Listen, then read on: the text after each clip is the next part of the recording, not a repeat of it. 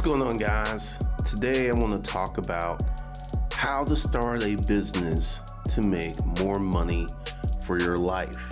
And we're going to get into some of the deeper stuff here. Right now, there's a multitude of businesses online that are saying, hey, you should come here, you should be here, you should st- start here, you should come and be part of this business because the money is good. And I'm about to talk about Airbnb. Life is a jungle. You need savage business and finance to lead you out of the jungle today. Now, personally, I am not a fan nor a hater of Airbnb, but I understand the concept. When you get into the Airbnb business, you do not get into the real estate business. You get into the hospitality business, and this little quirk is throwing people. It's throwing people. This is what happened. Let's call it the YouTube marketing team. The YouTube marketing team aggravates drop shipping, it aggravates Amazon FBA, it aggravates Turo, it aggravates Airbnb. Here's what happened a bunch of really smart people were sitting around one day and they were like, hey, if we promote this business, we can make a lot of money. And that's what they did. They promoted the business and they made a lot of money. Now, here's the thing personally, I do not want to be in a situation where I am checking people in and checking people out. And here's the thing the average Airbnb owner only has one to three properties. That's the average Airbnb owner. These super Airbnb owners who have 12, 15, 20, 30, 40, 50 product, product properties are kind of rare.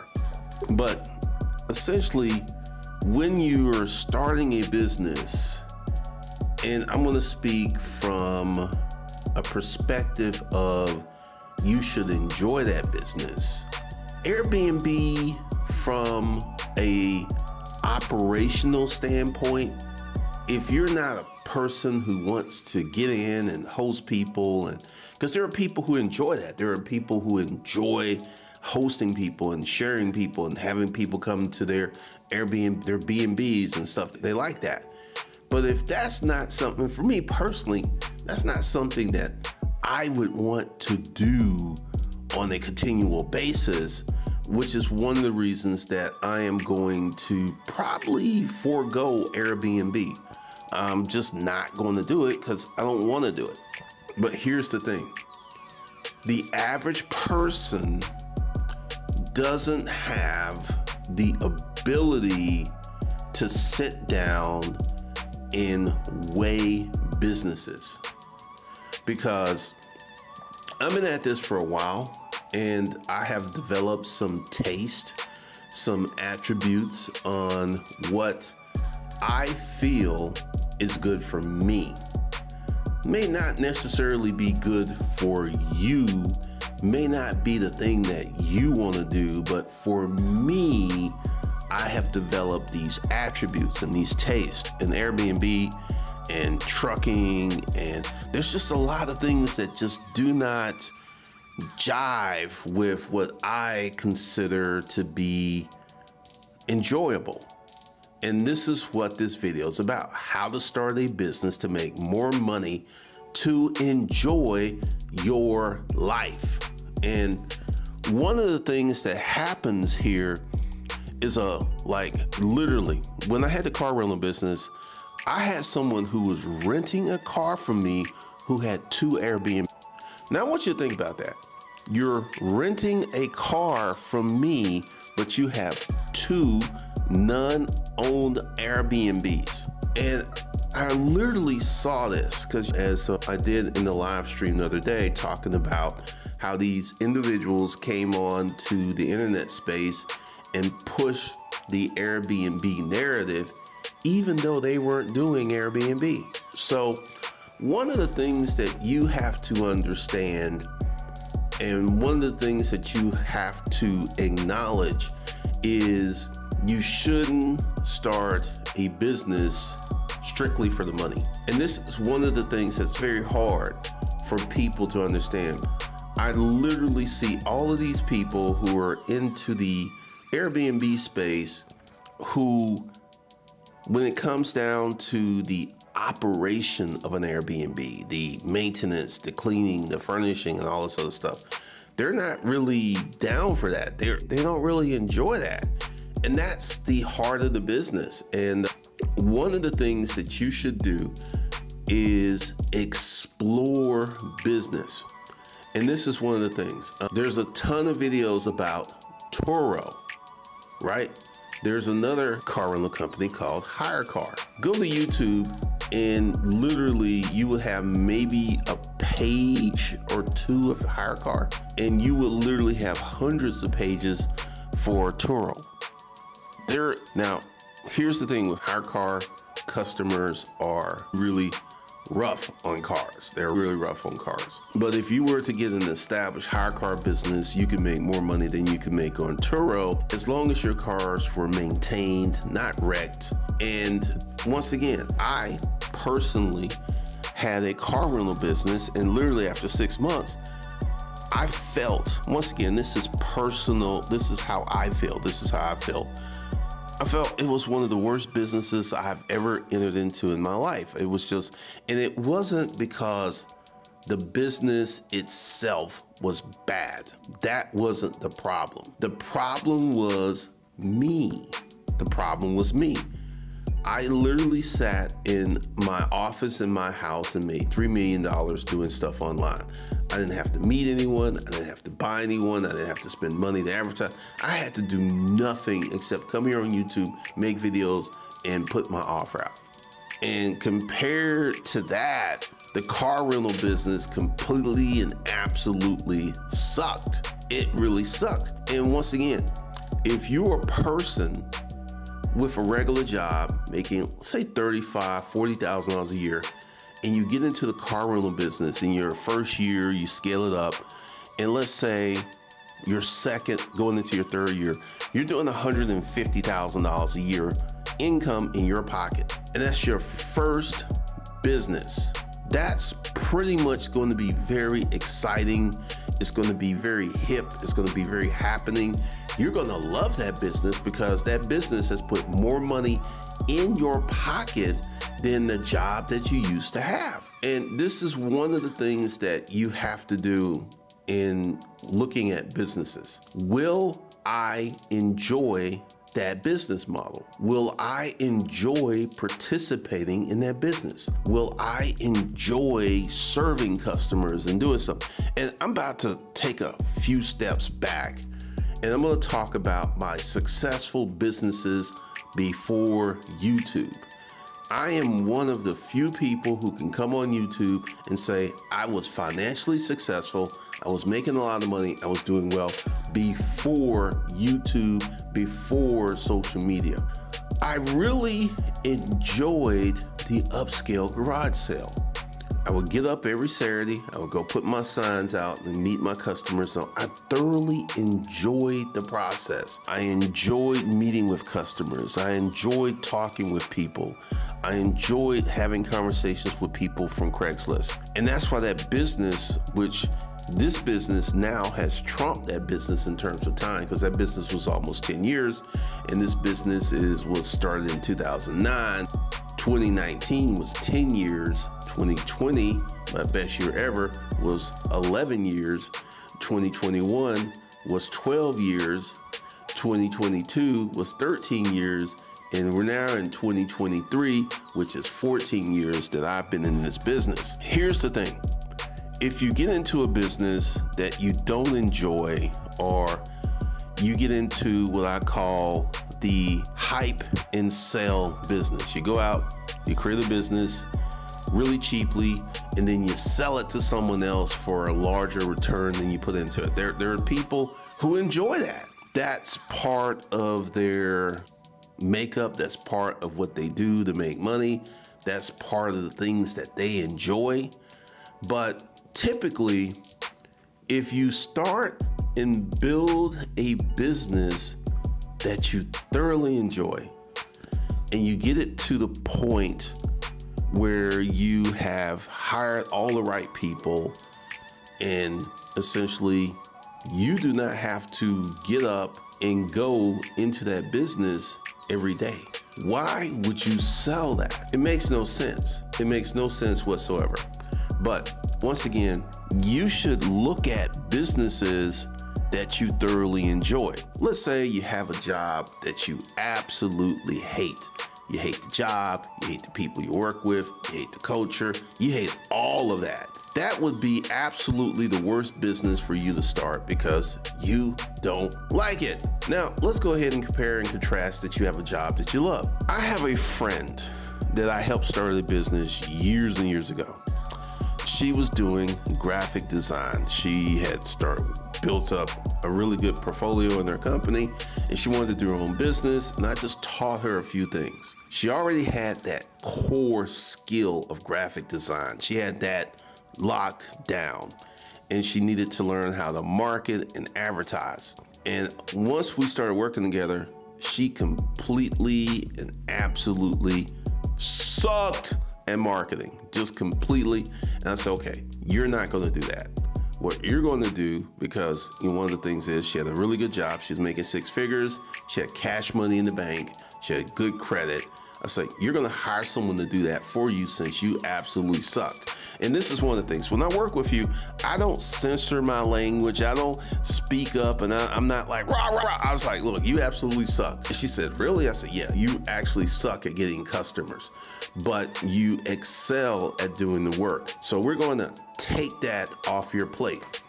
And this woman who had some money, had good credit, she spent $10,000 and it was like, Glendon, I'm not getting the customers. I've already spent $10,000. So you're gonna have to spend more. What? You're gonna have to spend more. And then once she's got up her ads adjusted and everything, then the money started coming in.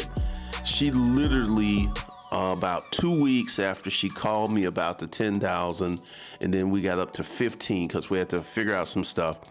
She called me up and she said, you will not guess what happened today. I was like, what happened? My ads put people into my funnel. And today I made $25,000 in one day. And I was like, really? Now, who told you you were gonna make that kind of money? She said, you did. Now, here's the thing. And this is what she has done with her business. She only works on the projects she wants to work with. And now she has a team of designers under her company that work with her. So if she wants to go to Portugal or Brazil or wherever she wants to go, she can literally take up and go off and spend a month there while these people who work in her company get things done while she's not doing it. We haven't really talked business. She's a good friend. We talk every now and then. But I wouldn't be surprised if her business is doing 10 million a year. Wouldn't be surprised at all. But here's the she enjoys her business. And we put this together maybe seven, eight years ago. And this is one of the things that people do not really want to understand, they do not want to be part of, is the beginning. Pick something that you like to do. Do not start a business for the money. Don't do that because that's one of the things that can create a very rough time for you that you that can it's just a terrible thing to do. And literally there's so many businesses that you can pick, but number 1, you have to explore these businesses. Because, like I said, one of the things that really works well online is if you have a business and you've been very successful in your business, operating your business, running your business, making money in your business, and then you come online and, hey, this is what I did, and I'm going to show you. That works because people want to see if the business is real. However, one of the things I do is I take people and I teach them how to extrapolate, how to expand their vision, how they can make money, how they can set up their business on a professional, spiritual, different level that they don't know how to do. And that's one of the things I'm very good at because one of the things that you have to understand is all businesses need customers, all businesses have a service or product, all businesses have a way to market to their customer. Those three things, I don't care what you're doing, what you're selling, what you're making, those three things exist in virtually every business. And once again, getting customers, and I'm to be talking about that in some upcoming videos, is one of the hardest things that you will do in terms of establishing your business and putting yourself together and putting things in a better situation for you to grow your business, to make money, to because here's the thing there's nothing wrong with starting a business to make money. However, the issues are if you put making money at the top of the list and everything else below that. Because for me, here's my list. Number one, I must enjoy it. That's number one. That's money is not at the top of my list. Number two, I must enjoy the customers. I must enjoy the business. I must enjoy the customers. And money's four or five. Money is not my top line item because here's the thing. If you get into a business that you enjoy, once again, I've been doing this 14 years. How can I do something that I just don't enjoy for 14 years? And there are people who are making millions of dollars in businesses that they absolutely hate. Millions, millions. And they're kind of stuck because they don't understand what business that they can get in that's going to give them that kind of income. Because here's the thing, and I want you guys to listen to me and listen to me quite well. In life, you're born by yourself. And in life, you're more likely, unless you just really have built up an amazing family structure, more likely you're gonna die by yourself. And everything in between is up to you to make it be what you want it to be. It's 100% on you. And one of the things that we're gonna do with the new training, and we're gonna do a lot of mindset stuff.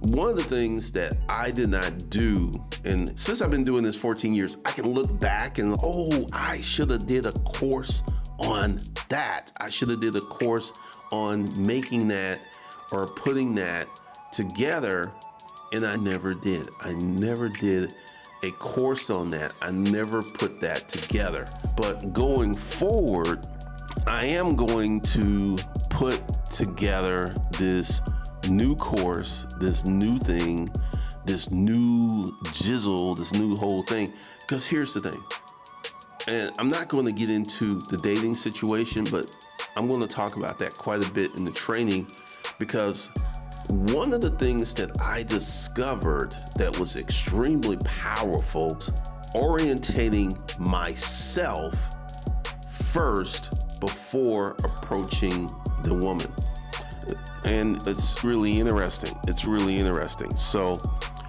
once again, 1st of March, and you're gonna see some big, bold, dynamic changes. You're gonna see that. And we're gonna get into a whole new thing. So, be sure to subscribe. I'm like, this whole, you keep changing your name because you don't want to subscribe, you lazy bum. Good Lord, just subscribe and you'll be good and you'll get the videos. But for some reason, you keep changing your name, man. There, there could be another name change coming up. There's a whole bunch of stuff that's going to happen starting the 1st of July. So be sure to subscribe. Be sure to go ahead and hit the bell notification thing and be on the watch out because I'm going to, like I said, so stay locked in, stay tuned, and I will be bringing this stuff to you.